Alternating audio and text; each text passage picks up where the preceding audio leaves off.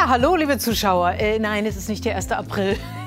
Wie das manchmal so ist, manchmal haben auch wir eine extrem lange Leitung, beziehungsweise es stand etwas drauf. Aber das ist jetzt hoffentlich behoben. Ich bin jetzt da, ich bin live da und wir haben unsere ZIP-Sendung. Ein bisschen kürzer heute. Das sind die Themen.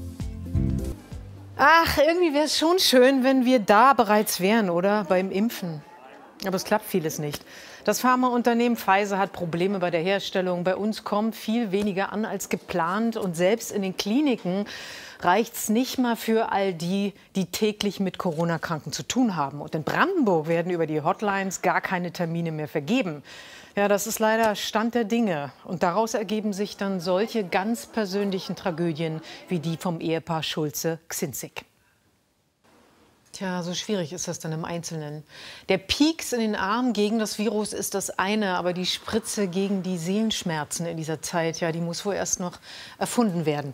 Silvia Hoffmann hat die auch nicht, aber sie bietet etwas anderes an. Eine sehr alte Medizin kennen wir alle, aber gerade verabreichen wir uns alle zu wenig davon. Wie sagte die eine Frau gerade, wir haben alle den Faden verloren. Tja, ist wohl so. Ein Seelencafé kann helfen oder etwas für sich selbst zu tun.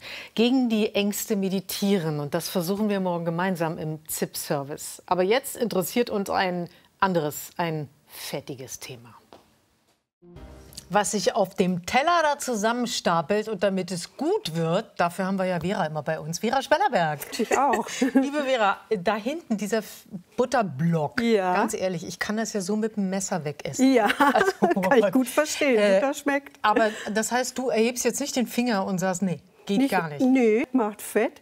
Das sagen wir heute nicht mehr, weil die Ernährungswissenschaften festgestellt hat, Fette sind lebensnotwendig und vieles mehr fördern auch Erkrankungen und äh, haben auch ein bisschen mit der, mit der Lebensmittelindustrie zu tun, mit der Fastfood-Kultur, aber auch mit der industrialisierten Landwirtschaft und viele mehr, sodass diese Lastigkeit im Anteil sich reine, gute, natürliche Öle zu Hause und setzt die entsprechend ein. Sprich Olivenöl, ein bisschen mediterrane Kost, Rapsöl für die Brat Bratkartoffeln. Wenn ich höher temperieren will, dass die Butter, siehe Butterschmalz. Und Sonnenblumenöl hat wieder ganz viele Omega-6-Fettsäuren. Da sagen wir Vorsicht, Vorsicht. Nicht so viel von Omega-6, das genau. haben wir genau. uns gemerkt. Aber jetzt folgende Situation in der Küche, die Sie vielleicht auch schon... Öl reingießen, in, wenn das ein Rapsöl ist, Rapsöl zugießen, dann sinkt sofort die Temperatur und ich kann eventuell das Verbrennen des Fettes noch verhindern. Weil Transfette eine große Rolle. So ist es.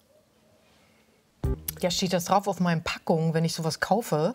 Äh, wo, ja. Oder woran kann ich den, den, das Vorhandensein von Transfetten ablesen. Genau. Der Begriff da, der passende Begriff dazu ist gehärtete Fette. Ah. Transfettsäuren haben früher empfehlen, so in der Ernährungsberatung gerne die Butter.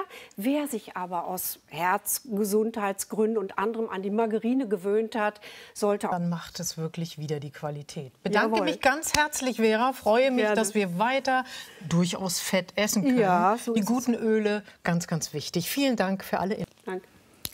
Gute Fette, schlechte Fette und das Gespräch haben wir vor der Sendung aufgezeichnet und Sie können alles kompakt noch mal nachlesen, entweder auf der RBB Textseite 360 oder auf unserer Homepage. Podcast-Tipps. Was haben wir denn heute? Ein gegen Ihren und auch meinen inneren Schweinehund, der ja schon wieder immer dicker wird. Und wir haben erst Januar. Und für unsere Reisesehnsucht. Einfach hinhören. Oh, ich bin gleich schon wieder weg in irgendeiner anderen Welt.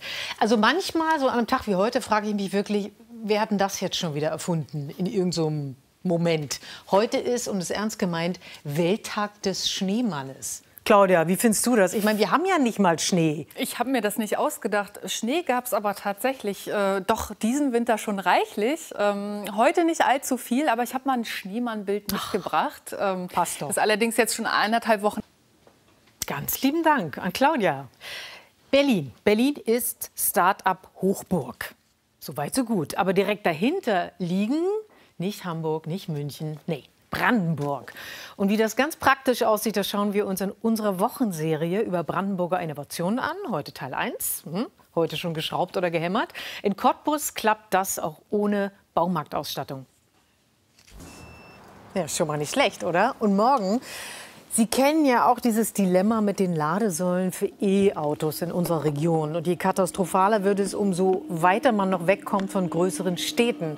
Und da stellen wir Ihnen ein cleveres Brandenburger Start-up vor, das da eine ziemlich gute Idee hat zu diesem Thema. Morgen in unserer neuen Wochenserie. Und Martin Wölfer ist bei uns. Ich heiße Sie ganz, ganz herzlich willkommen bei ZIP. So morgens zum Beispiel über diese Bühne gehen, die menschenleere Bühne, in diesen menschenleeren Saal schauen.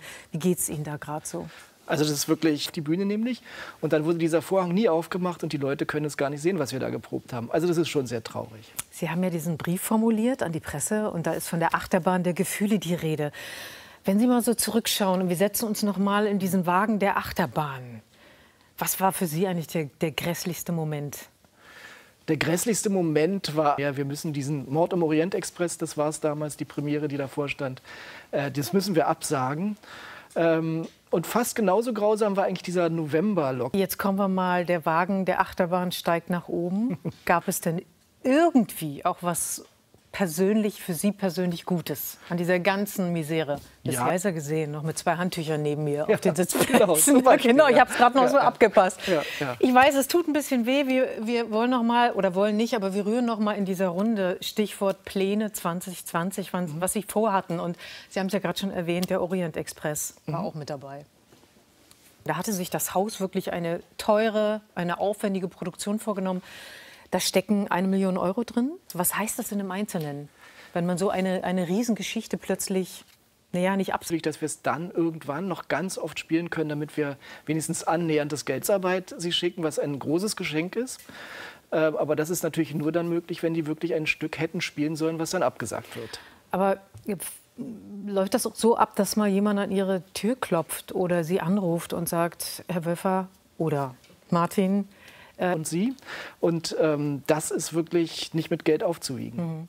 Sie haben selbst in einer persönlich für Sie sehr schwierigen Phase nach dem Tod von Mutter und Bruder haben Sie sich Hilfe selbst gesucht in einer schwierigen Seelensituation, haben sich Hilfe draußen gesucht und haben dann auch beschlossen, Hilfe anderen zu geben. In welcher, in welcher Art und Weise? Jetzt jetzt mal erklären, lieber Herr Wölfer. Systemaufstellung wäre noch nie äh, in Berührung gekommen.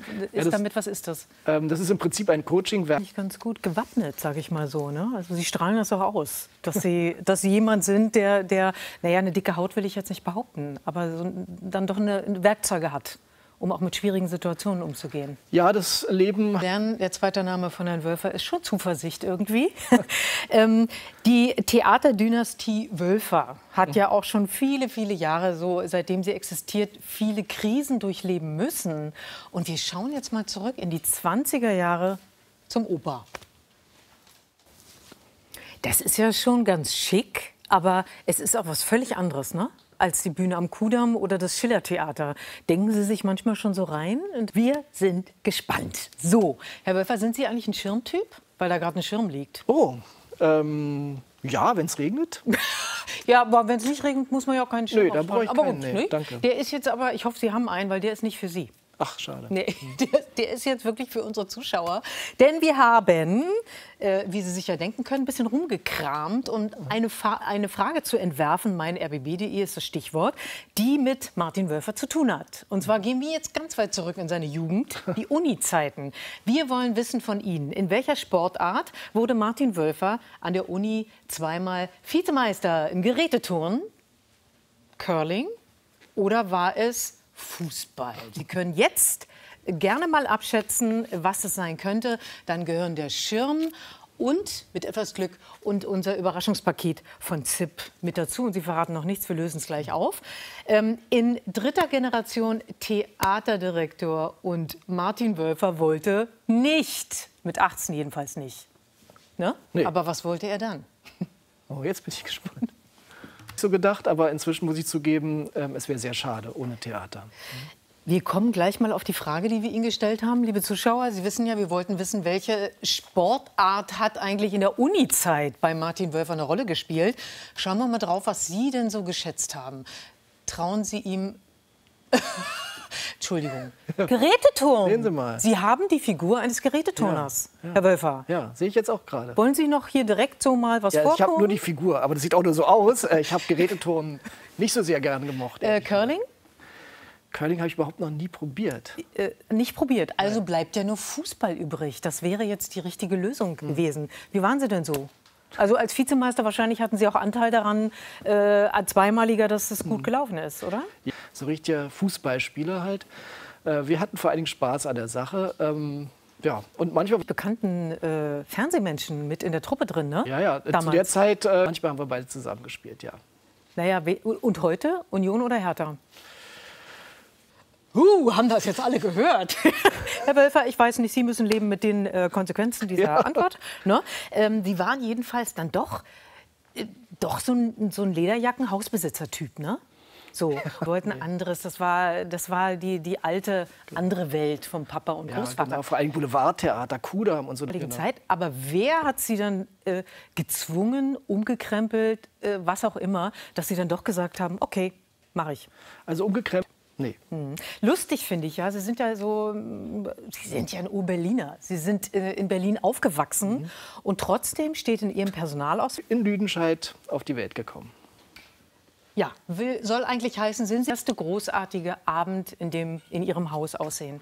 Wie stellen Sie sich das vor? Der Vorhang geht immer hoch, nur jetzt nicht. Es kommt und wir werden wahrscheinlich alle lachen und weinen auf einmal. Martin Wölfer, also liebe Zuschauer, haben wir jetzt was ganz Wichtiges. Da sind Sie nämlich unbedingt mit im Boot.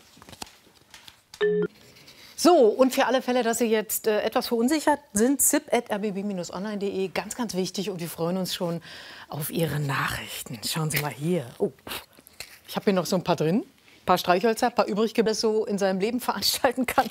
Man kann damit einiges tun, wie Sie gerade sehen werden, aber dafür müssen Sie sich schon mit Tonnen von Streichhölzern eindecken. Und dann kann es losgehen und dann sieht es vielleicht so aus am Ende. So, und der hier, der bastelt nicht mit Streichhölzern. Der hat äh, viel anderes da zu laufen. Und zwar, das ist unser Gast für morgen. Morgen vorstellt, auf dem Sofa, zusammen mit Uwe. Und jetzt sage ich nur herzlichen Glückwunsch, lieber Christopher. Der Schirm wird gerade schon für Sie verpackt. Dann schönen Abend noch, bis morgen.